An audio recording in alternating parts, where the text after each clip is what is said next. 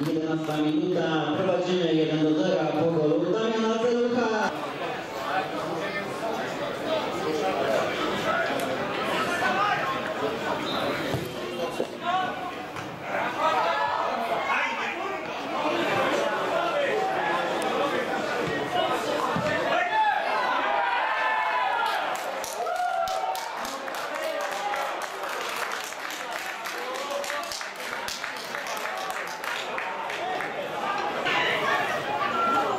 84 minucie na miejsce kolejna zmiana drużyny gości.